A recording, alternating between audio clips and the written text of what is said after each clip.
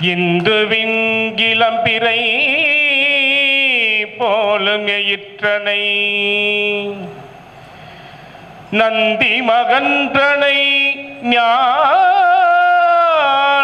கொழுந்தினை. என் புந்தியில் வைத்து அடியேன் உனை போற்றுகின்றனே போற்றுகின்றனே. மற்ற பற்றனக்கு இன்றி நின் திருப்பாதமே. நின் திருப்பாதமே மனம் பாவித்தேன். பெற்றலும் பிறந்தேன். இனி பிறவாத தன்மை வந்தெய்தினேன். கற்றவர் தொழுது ஏத்தும் பாண்டி கொடுமுடி நற்றவா? உனை நான் மறக்கினோ? சொல்லூனா நம சிவாயவே. எல்லாம் அல்ல அருள்மிகு வடிவுடைய நாயுடன் நமர் பாண்டி கொடுமுடிநாதர் திருவடிகளையும் எல்லாம் அல்ல சிவகாமி அம்மையுடன் அமர் கூத்தப்பெருமானுடைய திருவடிகளையும் மனமொழி மெய்களால் வணங்குகின்றேன். இதுவரை யாரெல்லாம் எனக்கு ஜோதிடமும் சித்தாந்தமும் கற்றுக் கொடுத்தார்களோ அனைத்து குருமாருடைய திருவடிகளையும் என்னை இந்த உலகுக்கு அறிமுகப்படுத்திய போற்றுதலுக்கும் வணங்குதலுக்கும் உரிய குருநாதர் திண்டுக்கல் சின்ராஜ் ஐயா அவருடைய திருவடிகளையும் இங்கே பேசுவதற்கு அடியனுக்கு வாய்ப்பு பெற்றுக் கொடுத்த என்னுடைய இன்னொரு குருநாதர் தங்கபாண்டி ஐயா அவருடைய திருவடிகளையும் மனமொழிமைகளால் வணங்குகின்றேன். சபையில் உள்ள ஆண்டோருடைய திருவடிகளை வணங்குகின்றேன். இப்போ நம்ம சுவாமி பிரசாதம் ராஜா சங்கர் சார் அவர் கொடுத்துருவோம். கொடுத்து ஒரு சால்வை சாத்திடுவோம்.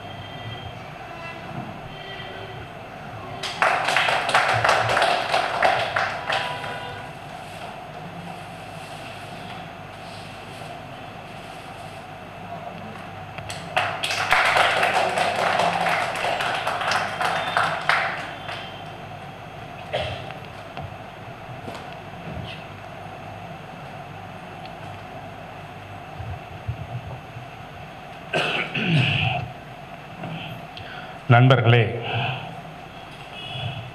ஸ்டார் தமிழ்நாடு ஜோதிட அறக்கட்டளை சார்பாக இந்த கருத்தரங்கை நடத்தி கொண்டிருக்கும் ஐயா திரு ராஜா சங்கர் ஐயா அவர்களை பாராட்ட வார்த்தைகளே இல்லை. ஏனெனில் நம்முடைய திருமுறையிலே ஒரு பாடல் வரும். கல்வாய் அகிலும் கதிர்மாமணியும் கலந்து உந்தி வரும் நிலவின் கரைமேல். நெல்வாயில் அறத்துறை நீடு உறையும் நிலா வெண்மதி சூடிய நின்மலனே. நல்வாய் நல்வாயில் செய்தார் நடந்தார் உடுத்தார் நரைத்தார் இறந்தார் என்று நானிலத்தில் சொல்லாய் கழிகின்றது. அறிந்து அடியேன் தொடர்ந்தேன் உய்யப் போவது ஓர் சூழல் சொல்லே.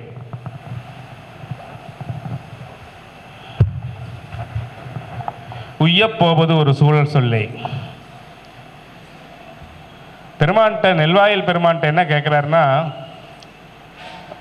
நான் பிறந்தேன் பிறந்து நடந்தேன் உடுத்தினேன் உண்டேன் உறங்கினேன் இறந்தேன். இது வாழ்க்கையா? வெறும் சொல்லாய் கழிகின்றது. பெருமானே அதுக்காகவா என்ன படைச்ச? அதுக்காகவா நான் அந்த பூமிக்கு வந்தேன்? அது ஆடு செய்து மாடு செய்து கோழி செய்து நானும் அதையே செஞ்சுட்டு பிறக்க என்ன படைச்ச? அப்படி இல்லாமல் இந்த ஜோதிடம் என்பது வேதங்களின் அங்கமாக வேதபுருஷனுக்கு கண்ணாக போற்றப்படுகின்ற அந்த கலையை தான் கற்றது மட்டுமல்லாமல் ஏதாவது ஒரு வழியில் இந்த உலகுக்கு செல்ல வேண்டும் என்று தன்முனைப்புடன் இந்த கருத்தரங்கை ஸ்டார் அறக்கட்டளை குழுவினரும் ஐயா ராஜாசங்கர் அவர்களும் ஏற்பாடு செய்து ஏன்னா ஒரு பத்து பேர்த்த கூட்டு வச்சு அதை ஒரு கருத்தரங்கு கொண்டு போகிறது ஒரு மாநாடு நடத்துறதுனா எவ்வளோ சிரமம்னு தெரியும்.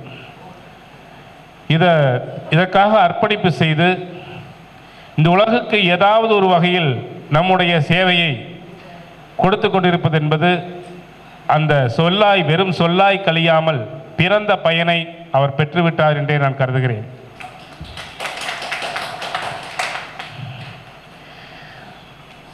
அவரை வாழ்த்துகிறேன் வணங்குகிறேன். மீண்டும் அவருடைய தொண்டு மென்மேலும் சிறந்து விளங்க வேண்டும். எல்லாமல்ல பாண்டி கொடுமணிநாதர் அவருக்கு துணை இருப்பார் வன்மை தரும் ஆகம நூல் வைத்த பொருள் வலுவா?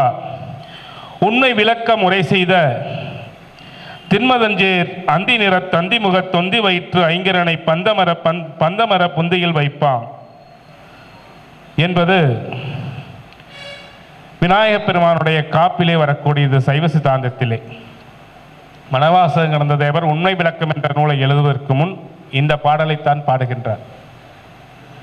இதில் என்ன சொல்றார் அப்படின்னா வன்மை தரும் ஆகம நூல் வைத்த பொருள் வலுவா? ஆகமம் என்றால் வேத ஆகமங்கள். இந்த வேத ஆகமங்களிலிருந்து தான் நமக்கு ஜோதிடம் ஒரு அங்கமாக கிடைத்தது. இந்த ஆகம நூல்கள் வைத்த பொருள் வலுவாமல் மூல நூல்களில் மகான்கள் என்ன ஏன்னா அவங்களாம் ஆகம பிரமாணத்திலே சொன்னது.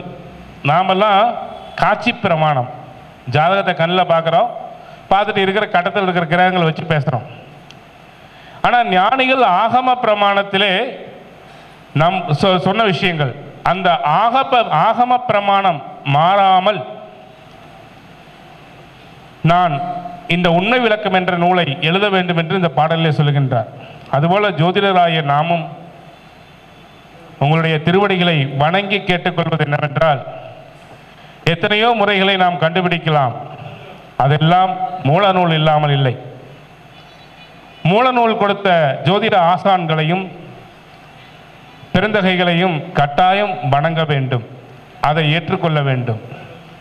இன்று காலம் மாறிவிட்டது. அதனால் நானும் அதுக்கு தகுந்த மாதிரி மூலநூல் தேவையில்லை என்று சொல்வது தவறு. இன்றைய காலத்துக்கு தகுந்தபடி வைத்த பொருள் வலுவா வண்ணம் மூலநூல்களில் ஆசிரியர்கள் வைத்த பொருள் வலுவா வண்ணம் திருத்தி நீங்கள் சொல்லலாம். தப்பில்லை. ஆனால் வைத்த பொருள் வலுவக்கூடாது. அவர்கள் என்ன பொருள் நோக்கத்தோடு சொன்னாங்களோ அந்த பொருள் வலுவக்கூடாது.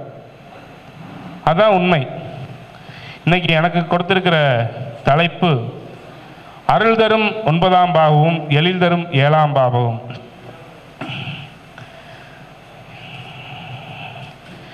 எங்கேயா ஏழாம் பாவகம் எழில தருது? ஏழாம் பாவகமாலே பிரச்சனை தானே எதிரான பாவகம் தானே. இது இரவு காலையிலனா அது இரவு இது இரவுனா அது காலையில் ஒன் எயிட்டி டிகிரி மேசத்திலிருந்து துலாம் ஒன் எயிட்டி டிகிரி. இது எங்கே போய் நமக்கு சந்தோஷத்தை கொடுக்குது? எழில் மிகும் அதுவும் இப்படி ஒரு தலைப்பா? அநேகமாக நீ அணுவிக்கலைன்னு நினைக்கிற அப்படின்னு பேசுறீங்க நினைக்கிறேன். ஆனால் ஒரு பாவகம் அதன் ஒன் எயிட்டி டிகிரியில் உள்ள ஏழாம் பாவகத்தை சார்ந்து இயங்கும் அதற்காக இயங்கும் அல்லது அதை சார்ந்து இயங்கும். அதான் உண்மை. பகல் இரவுக்காக காத்திருக்கும் இரவு பகலுக்காக காத்திருக்கும். பகலே போதுமென்றால் இரவில் இன்பம் இல்லை இரவே போதுமென்றால் பகலின் உழைப்பின் வெகுமதி இல்லை. ரெண்டும் கலந்ததுதான் உலகம். ஏழாம் பாவகம் சமூகம் ஏழாம் பாவகம் வாழ்க்கை துணை. வாழ்க்கை துணைனால எப்பவுமே எதிர் பேசினா தான் வாழ்க்கை துணை. சொன்னதை கேட்டுக்கிட்டு இருந்தால் பூமுகுமார் தலையாட்டினா வாழ்க்கை துணை இல்லை. எப்பவுமே எதிர்த்து பேசினா தான் வாழ்க்கை துணை எதிர்பார்க்கமாக தான் இருக்கும். ஆனால் நாம் ஒவ்வொருவரும் எதற்காக இயங்குகின்றோம் எதில் இயங்குகின்றோம்? லக்னம் என்பது ஜாதகர் அல்ல தெளிவாக புரிஞ்சுக்கங்க. சூரியன் ஆத்மா இதை சொல்றதுக்கு முன்னாடி ஒரு சின்ன விஷயம் சொல்லிடுறேன். நாமெல்லாம் எப்படி உருவாக்கப்பட்டோம்? இந்த மண்ணுக்கு எப்படி வந்தோம்? ஆன்மா நம்மலாம் ஆன்மா. இந்த ஆன்மா ஆணவ மலத்தில் மூழ்கி கல் போல கிடந்தது. எப்படின்னா ஒருத்தரை பிடிச்சி கோணிப்பையில் கட்டி ஒரு இருட்டறைகள் ஓட்டு பூட்டிட்டு அப்படி இருக்கும்? ஆணவம் என்பது அறிவை அழித்துவிடும். நாம் உயிர்ப்பொருள் கடவுள் உயிர்ப்பொருள் மலம் ஜடப்பொருள் நாம் உயிர்ப்பொருளை சாராமல் ஜடப்பொருளை சார்ந்தோம். இது உயிர் இயல்பு என்கிறார். இப்போ நான் பேசிகிட்டு இருக்கிறேன். வெளியில் ஒரு சினிமா ஒரு டான்ஸ் போட்டாங்கன்னு வச்சுக்கோங்க யார் இருப்பீங்க? நான் மட்டும்தான் வந்திருப்பேன் நானும் வந்தாலும் வந்துடும் நினைக்கிறேன். ஏன்னா ஆன்மாக்கள் எப்பவுமே நல்லதை விட கெட்டதைத்தான் நாடும். இது ஆன்மா இயல்பு என்கின்றார். அப்படி நாம மலத்தை சார்ந்து இருந்தோம். இப்போ நான் கோல்டன் மஹாலுக்கு வரணும். மாற்றி எங்கேயோ போயிட்டேன். உடனே ராஜாசங்கர் சாருக்கு ஃபோன் பண்ணுறேன் அவர் ஃபோன் பண்ணுறாரு எங்கே இருக்கீங்கன்னு? விடுவாரா? நம்பால் அங்கங்கேயே போய் மாட்டிக்கிட்டாரு. அப்படின்னு அவருக்கு கவலை வருமல்ல. உடனே எனக்கு ஏதாவது உதவி செய்வார்ல? யாரோ ஒருத்தர் அனுப்பி உதவி செய்வார்ல? அதுபோல் இறைவன் நமக்கு அவனுக்கு சொந்தமான நாம் அவனை சாராமல் மலத்தை சார்ந்ததால் இறைவன் கருணை கொண்டான். கருணை கொண்ட இறைவன் அவனாக வந்து வெளியே பிடிச்சி இழுத்துட்டு வரக்கூடாது. ஏன்னா சில பெற்றோர்கள் தான் செய்கிறாங்க எந்த வேலையும் குழந்தைய செய்ய விடாமல் தானே போய் செஞ்சு செஞ்சு கொடுத்துட்றாங்க. குறிப்பிட்ட காலத்தில் கைவிட்டாங்கன்னா அந்த குழந்தைக்கு ஒன்றும் தெரியாது. எப்படி வர்றதிருந்து கற்றுக் கொடுக்கணும்? அதனால தான் ஒரு சில மாயையிலிருந்து சில பொருட்களை கொடுத்தான். தனு கரண புவன போகம். தனு என்றால் உடல் கரணம் என்றால் இந்த முப்பத்தாறு கருவிகள் உடம்பிலே. போகம் என்றால் இன்ப துன்பம். புவனம் என்றால் நாம் இருப்பதற்கு ஒரு இடம் இந்த தனுகரண புவன போகத்தை கொடுத்து நம்மை படைச்சான். ஆத்மா சூரியன். இந்த ஆத்மா இயங்கணும் அப்படிங்கிறக்காக இச்சை ஏற்படுவதற்காக அவனுடைய அருள் ஞானக்கதிரை கதிரை அப்போ அப்பதான் அது ஆத்மா ஜீவாத்மா ஆனது அந்த அந்த ஜீவாத்மா தான் அந்த கரணம் தான் குரு. நம்ம ஜாதகத்தில் ஒன்பதாம் பாவம் சொல்றோம் அல்லவா? அறிவுக்கு அதிபதி. ஆன்மா கல்லு போல அறிவற்று கிடந்தது. அவனுடைய அருள் பார்வை பட்ட உடனே ஆன்மாவுக்கு சுயோணர்வு பெற்று அந்த கட்டி போட்டிருந்த ஆன்மா நெளிஞ்சுது. தூங்குற பையன் எழுப்பிட்டா என்ன கேட்பான்? அம்மா காப்பி கொடுங்க கேட்பான் அல்லவா? அதுபோல இந்த ஆன்மாவுக்கு இச்சை ஏற்பட்டது. இறைவன் கொடுத்த அறிவாள் அதுதான் குரு. அதனால தான் குருவை ஜீவகாரகன் என்கின்றோம். தனி சூரியன் உயிரணு அந்த உயிரணு நெளிந்து வளைந்து அதுக்கு ஒரு இச்சை ஏற்பட்டு தாயினுடைய கருமுட்டையை சேர வேண்டும் என்றால் ஜீவகாரனுடைய குருவின் தயவு வேணும். அதனால தான் குருவை புத்திரகாரன் என்கின்றோம். சூரியனை உயிரணு என்கின்றோம். இப்போ இந்த சூரியன் லக்னம்னா என்ன? சூரியன் ஆத்மா. இந்த ஆத்மா நின்ற புள்ளி. சூரிய உதயத்திலிருந்து இத்தனாவது நாளிகையில் இந்த குழந்தை பிறந்தது. அப்போ ஆத்மா அந்த ஆத்மா நின்ற புள்ளி. சூரியன் தான் ஆத்மா எல்லாருக்கும். அவர் யா மகர லக்னமாக இருந்தால் சனி பகவானை போல் செயல்படுவார். மேச லக்னமாக இருந்தால் செவ்வாயை போல் இருப்பார். இதில் சாரத்தை எடுத்துக்கணும். ஏன்னா விரிவாக பேச முடியாது அப்படி சுருக்கமாக முடிக்கிறேன். இதுதான் லக்ன புள்ளி. இந்த லக்னம் எதுக்காக இயங்குது?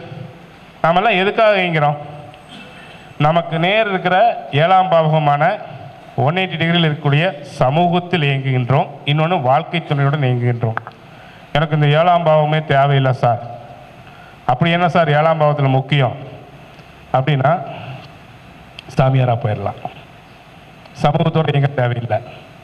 நம்ம அழகாக ஒரு வீடு கட்டுறோம். மாளிகை மாற யாருக்கு காட்டுறதுக்கு இந்த சமூகத்துக்கு தன் அந்தஸ்தை காட்டுவதற்கு. நான் மட்டும் ஒரு பெரிய மலங்காட்டுக்குள்ளே போய் ஒரு பெரிய மாளிகை கட்டினா அது என்ன பிரயோஜனம்? எனக்கு இருக்கிறதுக்கு ஒரு குடியில் இருந்தால் போதும். ஆச்சுங்களா? அப்போது ஒன்று சமூகத்தோடு இயங்குகின்றோம். இன்னொன்று வாழ்க்கை துணையோடு இயங்குகின்றோம். சமூகம் நம்மை பாராட்ட வேண்டும். சமூகம் நம்மை அங்கீகரிக்க வேண்டும். வாழ்க்கை துணை நம்மை அங்கீகரிக்க வேண்டும். இந்த ரெண்டு தான் நம்முடைய வாழ்க்கை. இதுக்குள்ள தான் அடங்கியிருக்குது. அதனால தான் எழில் மிகு ஏழாம் பாவகம். அப்புறம் எதுக்கு சார்? அருள் தரும் ஒன்பதாம் பாவத்தை சொன்னீங்க. இந்த காலபுருஷனுக்கு ஒன்பதாம் இடம் அப்படின்னு சொல்லக்கூடிய அருள் தரும் ஒன்பதாம் பாவகம் என்னத்தை சொல்லுது அப்படின்னா ஒரு உயிரை இறைவன் படைச்சு படைக்கணும். இப்போ வந்து என்னங்க கூப்பிடணும்? சார் கூப்பிட்டாரு. கூப்பிடுறதுக்கு முன்னாடி இவருக்கு என்ன தலைப்பு கொடுக்கணும்? இவருக்கு இங்கே என்ன வேலை கொடுக்கணும்? இவர் இங்கே என்ன செய்யணும்? இதெல்லாம் சார் முதல்ல நிர்ணயம் பண்ணியிருப்பார் சும்மா கூப்பிட்டு வச்சு கோர வச்சுட்டு அதுக்கப்புறம் என்ன வேலை நிர்ணயம் பண்ணால் அது சரிப்படாது. அப்போது இறைவன் நம்மை இந்த பூமிக்கு வரவழைப்பதற்கு முன்பே நம்முடைய சஞ்சித வினை என்று சொல்லக்கூடிய பலவினை ஜென்ம ஜென்மமாக சேர்த்து வச்சிருப்போம் அப்படியே மலை மாற. அதிலிருந்து வினை பக்குவமான வினை எடுப்பார். பக்குவமான வினைனா என்ன அப்படின்னா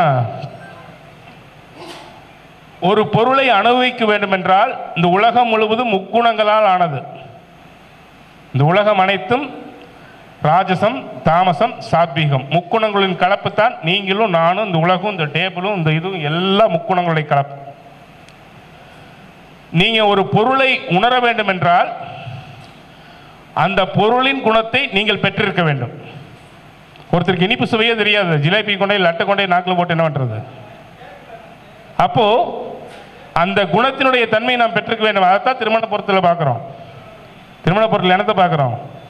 ஒரு பெண்ணினுடைய குணத்தை குணத்தத்துவத்தை இந்த ஆண் உணர்ந்து வாழ்வானா? இந்த ஆண் இந்த பெண் இந்த ஆணினுடைய குணத்தத்துவத்தை உணர்ந்து வாழ்வாளா? இல்லைனா சில வீட்டில் நீங்கள் எல்லாம் ஜோசியர் அந்த அந்த பொண்ணுங்க புலம்புவாங்க. சார் வந்தாருன்னா செல்ஃபோனை நோண்டிக்கிட்டே இருக்கார் சார். கண்டுக்கிறதே இல்லை சார். பேசுகிறதே இல்லை சார். மனசை தனி ரூமில் போய் கொந்துக்கிறான் ஏதாவது கேட்டால் செஞ்சு தர்றாரு இதுக்கு எதுக்கு கல்யாணம் பண்ணிக்கிட்டேன் அழகான மனைவி அன்பான குடும்பம் வாழ்க்கையை அனுபவிக்கணும். அதுபோல் அழகான கணவன் அன்பான குடும்பம் அந்த பெண் அந்த அண- ஆண்கிட்ட இருக்கிற வாழ்க்கையை அனுபவிக்கணும்.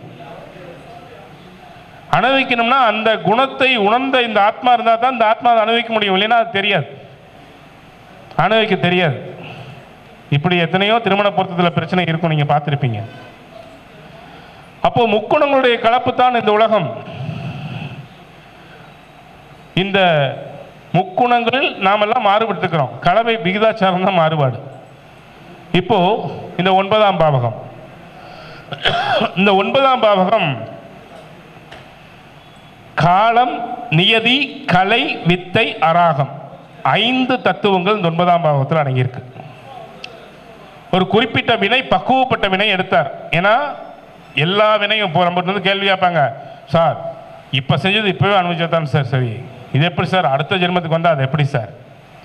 இன்னைக்கு செஞ்சதுக்கு நாளைக்கு கடைசி என்ன சார் பண்ணுறது ஏன் கடவுள் கடவுள் முட்டாளா? நாம் அறிவாளியா? ஆ? இன்னைக்கு செஞ்சதுக்கு நாளைக்கு கடவுள் ஏன் அதை கொடுப்பதில்லை என்றால் கடவுள் தண்டிப்பது கடவுளினுடைய நோக்கம் அல்ல தயவு செய்து எந்த இறைவனும் ஐயா அருமையாக சொன்னாங்க இஷ்ட தெய்வத்தை பற்றி எந்த தெய்வமும் நம்மை தாய் நம்மளை தண்டிப்பாளா? நாம் பக்குவப்பட்டு திருந்த வேண்டும் என்பதுதான் இறைவனினுடைய நோக்கம். நாம் இறைவனை இந்த ஆணவத்தில் இருந்து கண்மமலத்தையும் மாயாமலத்தையும் பற்றி கொண்டு ஏன்னா டார்ச் லைட் மாற பற்றி கொண்டு இறைவனுடைய திருவடியை சென்று சேர வேண்டும் என்பதுதான் இறைவனுடைய நோக்கம். அப்ப இந்த ஆன்மா பக்குவப்படணும். அப்ப பக்குவப்படணும்னா இதனுடைய குணமுள்ள ஒரு கண்மாவை எடுத்து இது உணர்ந்து கொள்ளக்கூடிய அப்ப நம்ம ஒவ்வொருத்தரும் கஷ்டத்தை அனுபவிக்கும்போது சொல்லுவோம் யாராவது சொல்லின்னு சொல்லுங்க. எனக்கு வந்த கஷ்டம் யாருக்கும் வரக்கூடாதப்பா. பாவம் தாங்க மாட்டாங்க. சத்தியமா சொல்லுவோம் நம்முடைய கஷ்டத்தை. ஏன்? நம்முடைய கஷ்டத்தை நாம் உணர்ந்ததால்.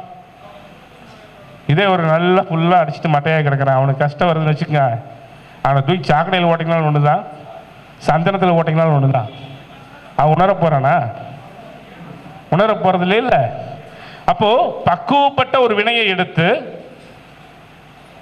காலம் இந்த காலத்தில் இந்த வினையை இந்த ஆன்மா நுகர வேண்டும் என்று கால தத்துவத்தை ஒன்று அதுதான் பாக்கியஸ்தானம். அவனுக்கு பாக்கியம் இல்லைப்பான்னு சொல்கிறோம் அல்லவா? இந்த ஒன்பதாம் பாவகத்தில் வைத்து நியதி உனக்கு நியமிக்கப்பட்டது என்னவோ? சார் எனக்கு தான் ரஜினிகாந்த் மாதிரி பிறந்திருக்கும்னு ஆசை. ஸ்டைலாக இருக்கும்னு ஆசை. இங்கே தோணுனா ஒரு அழுக்கியாக இருக்குது. என்ன பண்ணுறது நான் கோயிலில் சிவனடியார் ஜோதிடர். எனக்கு இந்த கருகருன்னு ஒரு உருவம் போதும். எனக்கு எதுக்கு ரஜினிகாந்த் உருவம்? அவர் ஸ்டாரு. அவருக்கு அந்த உருவம் தேவை. அவருடைய சிவசிவா சிவசிவா. அவருடைய நியமனம் அது. என்னுடைய நியமனம் இது. எனக்கு நியமிக்கப்பட்ட கர்மா இது. எனக்கு இந்த உடம்பு போதும். எனக்கு இந்த உடம்பை கொடுத்து. நீதி தத்துவம் முடிஞ்சது. கால தத்துவம் என்பது என்ன? இன்ன காலத்தில் இன்னதை அனுபவிக்க வேண்டும். அதனால தான் காலபுருஷனுக்கு ஒன்பதாம் இடமாகிய குரு இந்த குருவை வைத்துத்தான் நம் காலத்தை நிர்ணயம் செய்கிறோம். திருமணமாகிற காலம் இது. வேலை கிடைக்கக்கூடிய காலம் இது. செய்கிறோமா இல்லையா? எப்போவெல்லாம் சனி மேலே குரு போகிறாரோ அப்போவெல்லாம் வேலை கிடைக்கும். எப்போவெல்லாம் சுக்கரன் மேலே போகிறாரோ ஆணுக்கு சுக்கிரனுக்கு திரிகோணத்தில் போகிறாரோ சுக்கிரனை பார்க்குறாரோ அப்போல்லாம் கல்யாணம் ஆகக்கூடிய காலம் வரும் ஆணுக்கு. எப்போல்லாம் செவ்வாயை தொடுறாரோ செவ்வாயின் மேலே போகிறாரோ அப்போல்லாம் பெண்ணுக்கு கல்யாணம் ஆகக்கூடிய காலம் வரும். ஏன்? சிவசிவா அத்தனை தடவையும் காமம் சம்பந்தப்பட்ட எண்ணங்கள் தோன்றும்.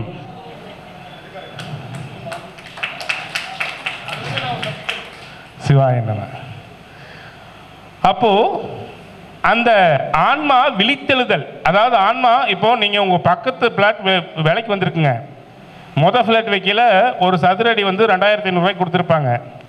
நீங்கள் கண்டுக்கவே மாட்டேங்க விட்டுருவீங்க ஒரு ரெண்டு வருஷம் கழிச்சு அதே இடத்த நீங்கள் பத்தாயிரம் சதுரடி கொடுத்து வாங்குவீங்க.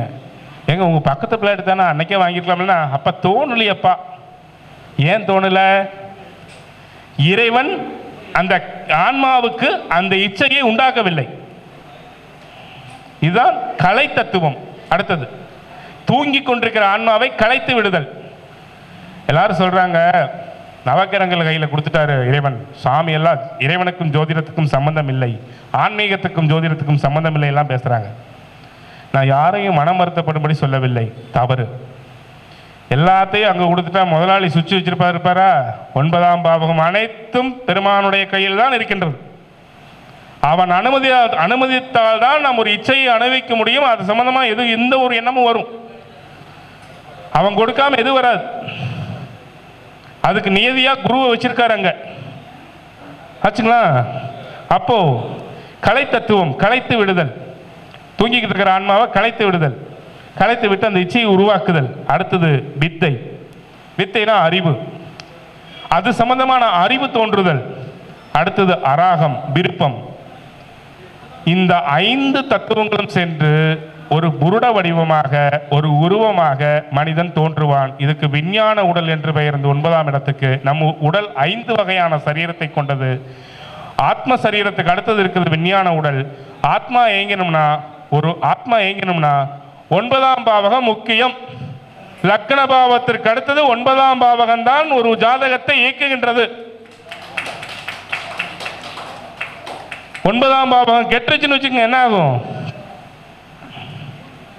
ஒருத்தர் மெயின் ரோட்லேயே அஞ்சு ஏக்கராங்க. ஒரு ஏக்கரா குறைஞ்சது ஆறு கோடி ரூபாய்க்கு விற்கும் வீட்டுக்குள்ள வீட்டுக்குள்ள போயிட்டு நான் வர முடியாது. ஏன்னா கட்டக்கரையேன்னு வீடு. ஒரு அது வீடா இல்லை தார் சாலையான்னு தெரியாது. அந்த வீடு தான் அவங்க அம்மா அப்பா அந்த பையன் இருக்காங்க. அந்த வீட்டை வளைச்சு விடுறது இல்லை பூசுறது இல்லை கல்யாணம் நாற்பத்தாறு வயசு ஆகுது கல்யாணம் இல்லை. ஆனால் அஞ்சு ஏக்கரா இருக்குது அதில் நான் சொன்னேன் ஒரு ஏக்கராக விற்றுருந்தீன்னா நீ பாடுட வேண்டாம். ஒரு இருபத்தஞ்சு கடை கட்டிட்டுருக்கலாம். வீட்டையும் நல்லா கட்டியிருக்கலாம் கல்யாணம் பண்ணியிருக்கலாம். ஏன்? அஞ்சாம் பாவம் நல்லா இருந்தது சொத்து இருந்தது பூர்வீக சொத்து. ஒன்பதாம் பாவம் சரியில்லை அனுபவிக்க முடியல. அந்த சொந்தமான என்னமே அவருக்கு வரல. கலைத்தத்துவம் வேலை செய்யல. இருந்து சொத்து இருந்தும் எத்தனை பேர் அப்படி வாழ்கிறாங்க பார்க்குறீங்கல்ல யார் ஒருவருக்கு ஒன்பதாம் பாவம் கெட்டுவிட்டதோ அவர்கள் வாழ்க்கையை அனுபவிக்க முடியாது. அதுக்கு என்ன சார் பண்ணுறது ஒன்பதாம் பாவம் கெட்டு போச்சு சார். இதுக்கு நான் என்ன சார் பண்ணணும்? நல்ல குருநாதருடைய திருவடியை பற்றி கொள்ளுங்கள். உங்களால் முடியாது. குருவினுடைய திருவடி கட்டாயம் உங்களை ஜெயிக்க வைக்கும். எனக்கு ஒன்பதாம் பாவகம் விருச்சக லக்னம். ஒன்பதுக்குடைய சந்திரன் கேதுவுடன் ஐந்தாம் இடத்தில். என்ன சதீஷ்னா யாருக்குமே தெரியாது. கிட்டத்தட்ட ஏழ்நூறு பக்கம் திருமண பொருத்தத்தையும் சித்தாந்தத்தையும் ஜோதிடத்தையும் கலந்து நூலாக எழுதினேன். ஒரு பிரயோஜனம் இல்லை. போட்டு த தங்குப்பட்டியில் ஓட்டு வச்சுட்டு அப்படியே ஜாதகம் பார்த்துட்டு இருந்தேன். என்று திண்டுக்கல் சின்ராஜ் ஐயா அவருடைய திருவடியை பற்றினனோ அன்று ஒன்பதாம் பாவகம் இயங்குச்சு. இந்த நூல் சம்பந்தமான அனைத்தும் வெளியே பேசுறதுக்கு வாய்ப்பு வந்தது நான் அவர் ஒருத்தர் தான் சொல்ல எத்தனையோ குருமார்கள் தான் இருக்காங்க பாருங்க. இந்த நேரம் நல்ல குருமாருடைய திருவடியை இருக்க பற்றிக்கங்க. அதுபோல ஜோதிடம் ஒருவர் கேட்க ஒரு கிளைண்ட் வராருன்னா அந்த ஜோதிடர் குரு நல்ல ஜோதிடருடைய திருவடியை கிளைண்ட் பற்றிக்கணும். அப்பதான் ஜெயிக்க முடியும். நம்ம விருப்பு வெறுப்பற்று எந்த விருப்பு வெறுப்பும் அதுக்குள்ள கொண்டு வராமல்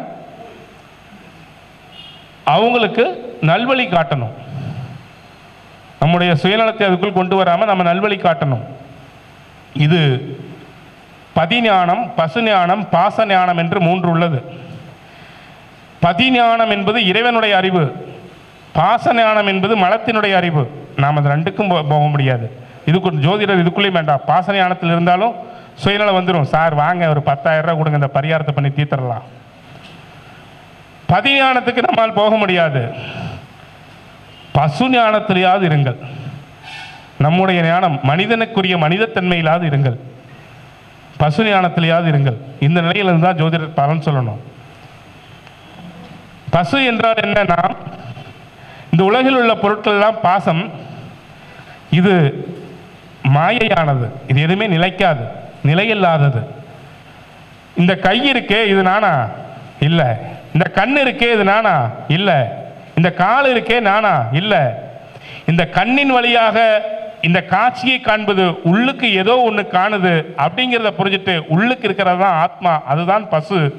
பசு நான் வேறு இந்த உடல் வேறு மற்றதெல்லாம் வேறு என்று உணர்ந்தது தான் பசு பசுஞானம் அப்போ என்று இதெல்லாம் நம்முடையதல்ல என்று நினைக்கிறீர்களோ அன்று தப்பான வழிக்கு போக மாட்டோம். ஜோதிடருக்கு அந்த ஞானம் வேண்டும். சரி விஷயத்துக்கு வரேன். எனக்கு கொடுத்த டைம்குள்ள இந்த ஒன்பதாம் பாவகம் காலம் நியதி கலை வித்தை அராகம் ஐந்து தத்துவத்தை கொண்டுள்ளது. இந்த ஒன்பதாம் பாவத்துக்கு நேர் ஒன் எயிட்டி டிகிரியில் என்ன பாவகம் இருக்கு? மூன்றாம் பாவகம்.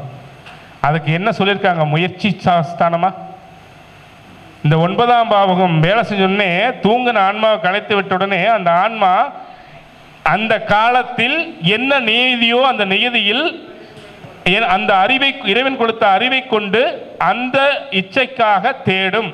அதான் மூணாம் பாவகம் முயற்சி ஸ்தானம். அது